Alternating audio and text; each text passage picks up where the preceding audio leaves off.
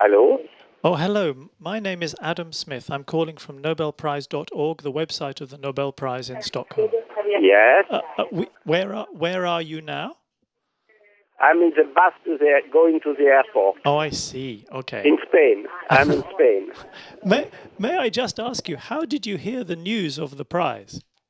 Oh, completely by chance because just leaving my hotel, I connect myself to the computer and I, I, I received the, the news from that uh, about one hour ago. A very nice, very nice connection, very nice surprise.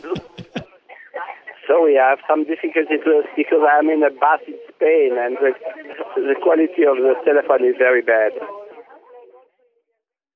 But anyway, you've made it to the airport at least. It must be a bit frustrating to be away from home when it happens.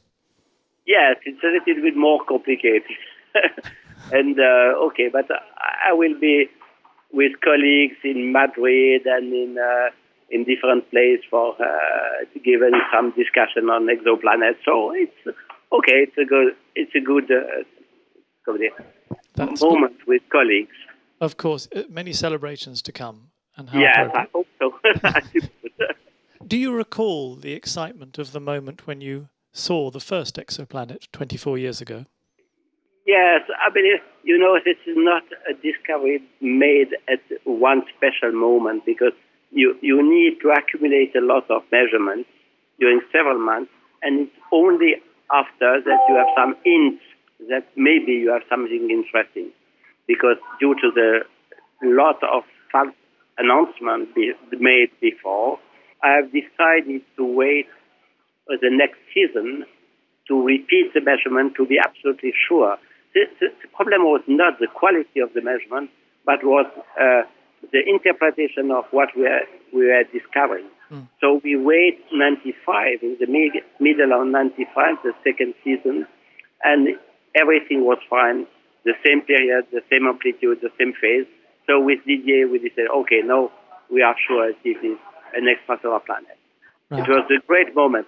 It's so unexpected that it, it, it orbits in just four days. Such yes. a, such strangeness. It must have taken great courage to believe in your data. Apart to have the confirmation that planets exist, this was maybe the most important uh, aspect of this discovery, the discovery of the orbital migration. So that if planets are formed at some distance of the star, then after the interaction between the planet and the accretion disk, create a spiraling or migration of the of the young planet towards the star. And this was a major ingredient of the scenario of planetary formation. And today, all all scenarios have to include this kind of phenomena. And that's that's the point, isn't it? That the discovery of all these exoplanets, over four thousand now, teaches us a great deal about the way they that, so, that solar systems form, and indeed even about our own Earth. Yes, sure. In fact, this is a different. So we are living in a, a planetary system. So uh, all the planets of the own solar system belong to the same uh, kind of scenario. Yeah, because there's often a great focus on the search for life, but we can learn a lot more than just whether there's life out there by looking. Scientists are interested in the formation of planetary systems and so on, but for most, the majority of people, what is behind is the question of life. At the present time, this is uh, the most exciting question we have facing us. And for the next generation, I don't know how many years we will need for that, but this is an extremely important question for, for laymen. And when when do you think we might be ready to see the first signs of life if they're there? It's the problem to, of the detection of biosignature. We know how to do it, but it's so difficult, technically so difficult. I believe maybe 10 years or more, I don't know exactly, but uh, I, I, don't expect to have an answer next year. uh, Greek philosophers were discussing the plurality of, wor- of worlds and the possibility to have some of them inhabited.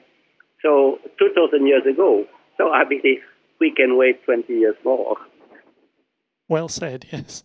We look forward very much indeed to welcoming you to Stockholm in December. what I have to say. Tack. exactly. Precise. Thank you very much indeed. Okay, thank you. Congratulations. Bye bye.